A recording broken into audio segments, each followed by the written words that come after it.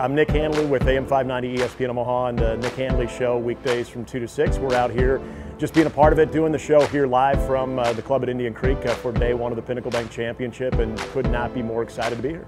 Talking with some of the golfers as they get done with their rounds, talking with people uh, a part of the event, just to kind of let people out there know how it's going, who you should start following uh, on Friday, Saturday, and Sunday. And it's just having a chance to, to be out and be around potential listeners uh, to kind of be in the community, to be at these community events and just have a presence so people understand that, you know, we're a big part of the sports community here and, and we want to be able to, to interact with them as well. Sometimes they don't realize that we're actually on the air. Uh, we were out at uh, a bar for the College World Series. We were in the middle of talking about something and the guy is just trying to have a conversation with me while I'm on the air trying to talk to the audience. So but we love that. I mean, it's great. People just, they, they, want to come up, they want to talk to you, they want to give you their opinions on whatever sport they're passionate about or anything that they heard you talking about. And, and I love to hear about it. I love to uh, give them my insight on it. And uh, you know what? If you have a beer afterwards with them, it's, it's, it's all the better.